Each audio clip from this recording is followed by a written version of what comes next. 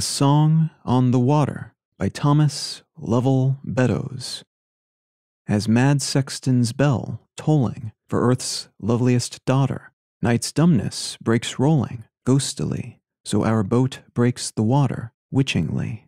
As her look the dream troubles of her tearful eyed lover, so our sails in the bubbles, ghostily, are mirrored and hover, moonily. A Song on the Water by Thomas Lovell Beddoes.